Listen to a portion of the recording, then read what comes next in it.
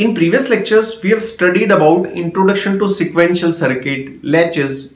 In coming lectures, we will study about flip-flops, different types of flip-flop, SR flip-flop, JK flip-flop, D-type flip-flop, T-type flip-flop, master slave JK flip-flop और इनके हम different truth tables करेंगे different excitation tables करेंगे कि इनको हम किस तरह से डिज़ाइनिंग के लिए हम यूज़ करते हैं काउंटर्स की डिज़ाइनिंग के लिए शिफ्ट रजिस्टर्स की डिज़ाइनिंग के लिए ये बहुत इंपॉर्टेंट लेक्चर है सो इस लेक्चर को आप शुरू से आखिर तक देखें। बिकॉज़ इस लेक्चर में हम clock signal and different triggering methods करेंगे।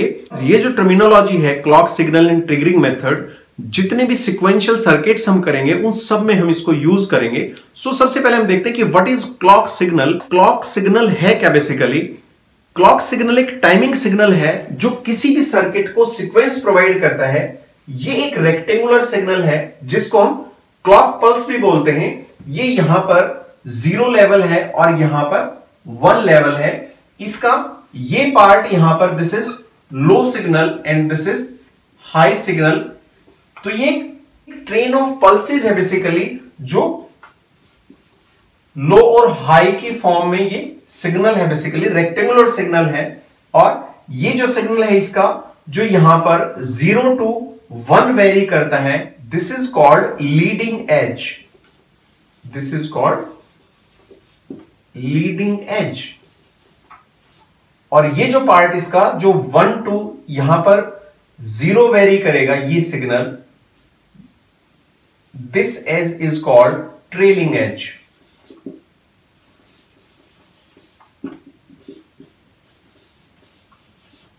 इसका जहाँ पर वन साइकिल कंप्लीट होता है वन साइकिल मींस हाई और लो का जो कॉम्बिनेशन है दिस इज़ वन साइकिल इसको टी से रिप्रेजेंट करते हैं यहाँ पर।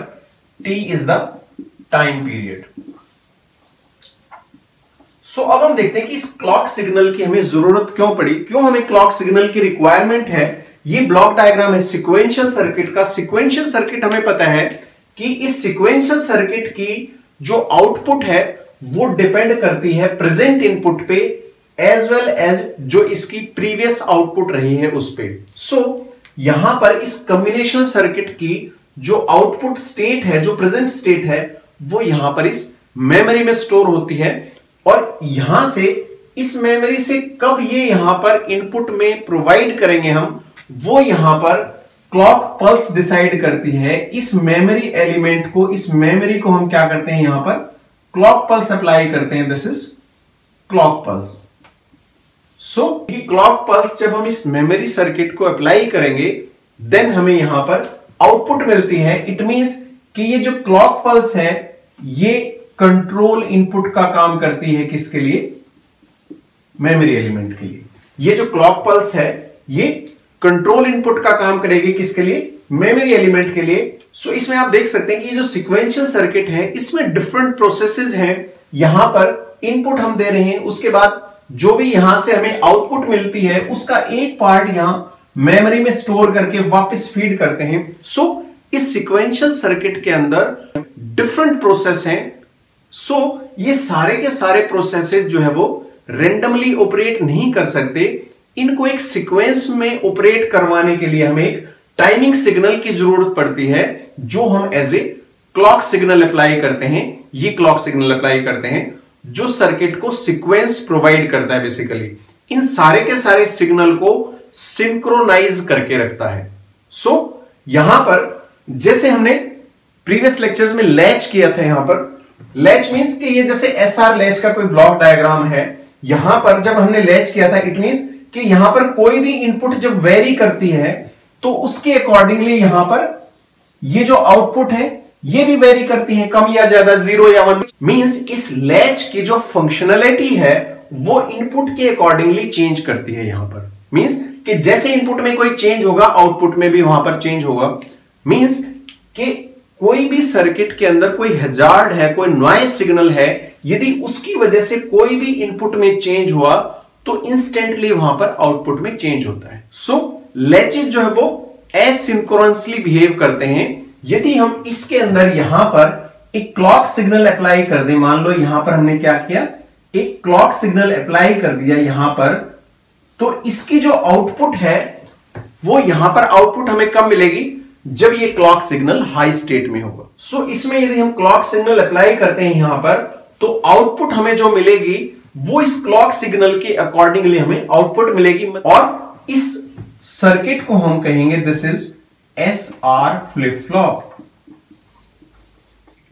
so जब यहाँ पर कोई भी क्लॉक सिग्नल नहीं था तो ये सर्किट एसिंक्रोनसली बिहेव करता है, जिसको हम लैच कहते हैं बेसिकली और जब यहाँ पर हम क्लॉक सिग्नल अप्लाई करेंगे तो इसको हम क्या कहते हैं? दिस इज़ फ्लिप फ्लॉप तो यही डिफरेंस है फ्लिप फ्लॉप और लैच के अंदर. फ्लिप फ्लॉप क्या एक सिंक्रोनस सर्किट है, जो सिक्वेंस में बिहेव करता है बेसिकली और लैच क्या है?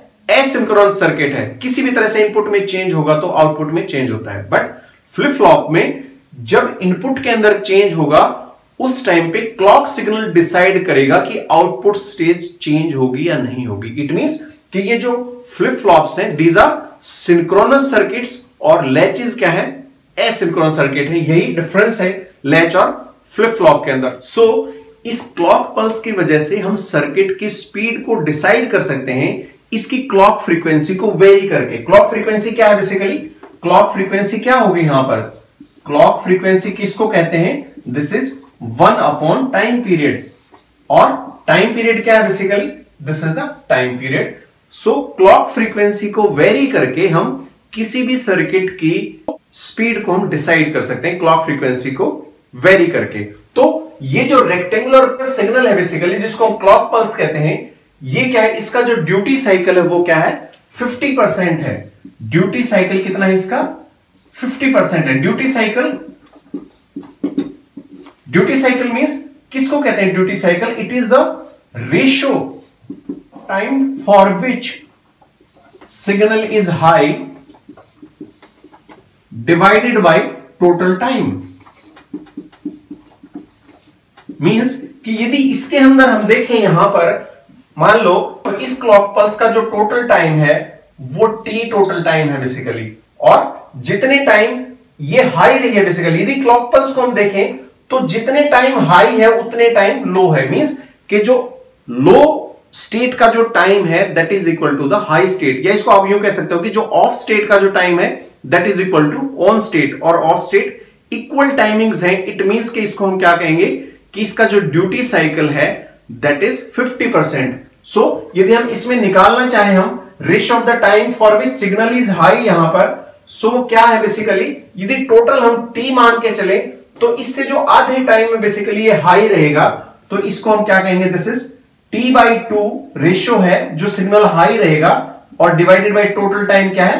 T so this will be equal to one by two and this will be 50 percent जो ड्यूटी साइकिल है वो किसमें है बेसिकली परसेंटेज में है सो so, ये जो क्लॉक सिग्नल है that is a rectangular pulse with 50 percent duty cycle तो अब हम देखते हैं कि जब इस क्लॉक पल्स को हम अप्लाई करते हैं किसी भी फ्लिप फ्लॉप को तो उस फ्लिप फ्लॉप की ट्रिगरिंग कैसे बिहेव करती है बेसिकली ट्रिगरिंग मीन्स कि यहाँ पर ट्रिगरिंग क्या है बेसिकली इस मेमोरी एलिमेंट के अंदर यहाँ पर जो कम्बिनेशन सर्किट है उसकी स्टेट यहाँ पर स्टोर है मेमोरी एलिमेंट के अंदर।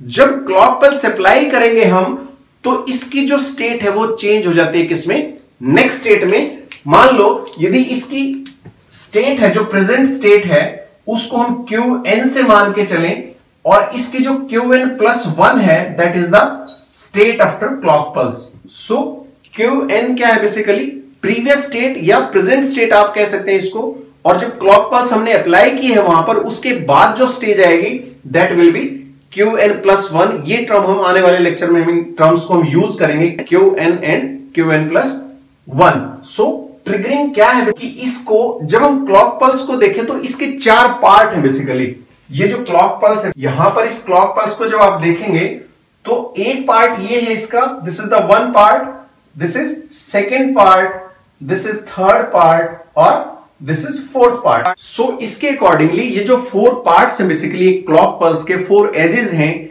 इस पे डिपेंड करके हम किस तरह से ट्रिगरिंग करवा सकते हैं, जो मेथड्स ऑफ़ ट्रिगरिंग है, वो इन पार्ट्स पे डिपेंड करते हैं।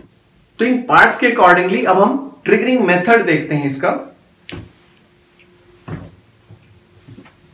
अब ये जो क्लॉक पल्स है, इस क्लॉक पल्स के जो पार्ट्स हैं, जो एजेस है फोर एज है बेसिकली उसके अकॉर्डिंगली हम ट्रिगरिंग मेथड्स को कैटेगराइज कर सकते हैं। इसमें यदि हम देखें क्लॉक पल्स में तो ये जो लो पार्ट है बेसिकली ये क्या है? लो पार्ट है। This is zero this is one this is zero one zero one this is one zero so ये जो पार्ट है, जो मैक्सिमम टाइम हाई रहता है this is called positive level और ये जो लो लेवल है basically this is called negative level और ये जो एजेस हैं, जो ज़ीरो टू वन वेरी करता है, ये जो एज है basically this is positive edge ये क्या है दिस इज़ पॉजिटिव एज और वन टू ज़ीरो जब वेरी करता है तो इसको हम क्या कहते हैं? यहाँ पर देख ले हम इधर. This is called negative edge और ये जो पार्ट है, ये क्या है this is positive edge so four type से हम कैटेगराइज कर सकते हैं किसको? ट्रिगरिंग मेथड्स को। यदि हम यहाँ पर देखें ट्रिगरिंग मेथड्स जो ट्रिगरिंग मेथड्स हैं बेसिकली उसको हम दो टाइप से ब्रॉडली क्लासिफाई कर सकते हैं। One is level triggering and another is edge triggering अब उसी तरह से हमारे पास दो लेवल है और दो एज है बेसिकली तो इस लेवल को यहाँ पर this is positive level triggering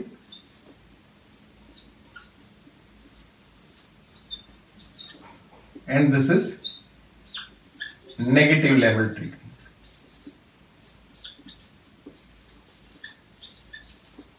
और यहाँ पर उसी तरह से positive edge triggering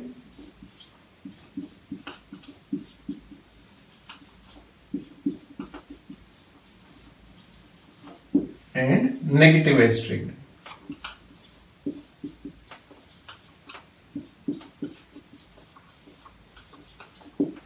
अब यदि इनके ब्लॉक डायग्राम्स को हम देखें, मान लो फ्लिप फ्लॉप का कोई ब्लॉक डायग्राम हमने बना रखा है यहाँ पर।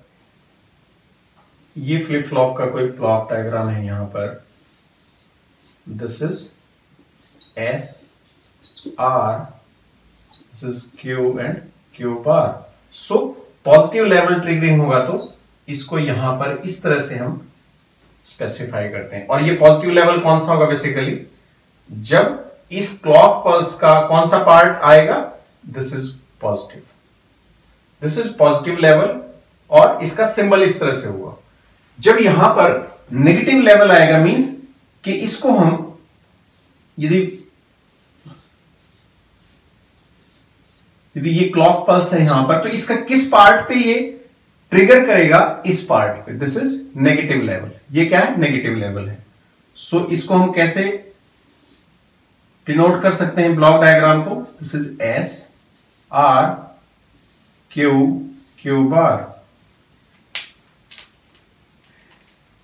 ये यहाँ पर नेगेटिव है. ये किसका सिंबल था? लेवल का. और नेगेटिव मीन्स कि यहाँ पर एक बबल शो करेंगे इस तरह से. ये बबल क्या करता है? इन्वर्ट का काम करता है. Active low is it means कि this is active low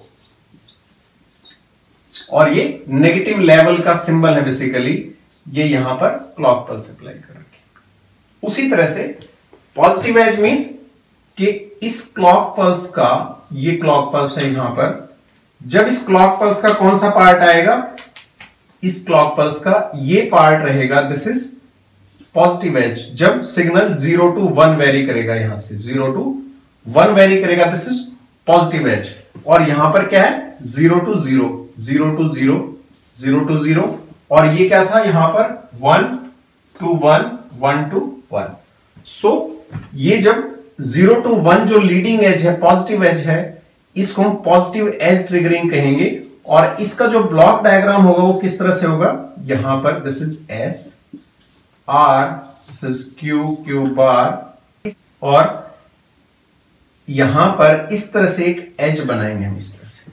This is positive edge triggering, इस तरह से ये यहाँ पर एक क्लॉक पल्स जो भी अप्लाई करेंगे हम दिस इज़ क्लॉक ये सारे के सारे क्या है? एस आर फ्लिप फ्लॉप के ब्लॉक डायग्राम है this is S R flip flop this is also S R flip flop अब उसी तरह से नेगेटिव एज ट्रिगरिंग मीन्स कि ये जो क्लॉक है, इसके नेगेटिव पार्ट पे जब ट्रिगर करेगा सर्किट नेगेटिव पार्ट कौन सा है? जब वन टू ज़ीरो हम जाएँगे, ये this is negative edge one to zero. This is negative edge so इसका ब्लॉक डायग्राम जब देखें हम इस तरह से this is S R Q Q bar this is S R flip flop और नेगेटिव एज मीन्स ये एज था और यहाँ पर एक बबल लगा दे तो ये नेगेटिव एज है। सो so, यहाँ पर दिस इज़ क्लॉक तो इस तरह से फोर टाइप से हम कैटेगराइज कर सकते हैं। Positive level triggering negative level triggering positive edge triggered and negative edge triggering so clock pulse के जो भी चार पार्ट्स हैं उनके अकॉर्डिंगली इस तरह से हम कैटेगराइज कर सकते हैं। ये these are the triggering methods और ये क्लॉक पल्स ही बहुत ही इंपॉर्टेंट टॉपिक है। इसको आप अच्छी तरह से करें बिकॉज़ जितने भी हम सिक्वेंशियल सर्किट करेंगे उन सभी में ये clock signal and triggering methods हम यूज़ करेंगे। सो so, इस लेक्चर के लिए इतना ही। यदि आपके कोई भी क्वेरीज है, कोई भी डाउट्स है सजेशन है तो हमें कमेंट बॉक्स में ज़रूर लिखें और आने वाली वीडियोस को बहुत अच्छी तरह से देखें। यदि आप इन वीडियोस को शुरू से आखिर तक देखेंगे तो आपको बुक भी रेफर करने की ज़रूरत नहीं है सिक्वेंशियल सर्किट्स के लिए फ्लिप फ्लॉप्स के लिए। So thank you friends